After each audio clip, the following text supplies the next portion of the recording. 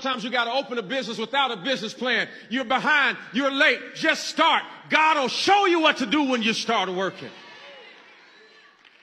And don't, don't do what other people, some people tell you, well, this is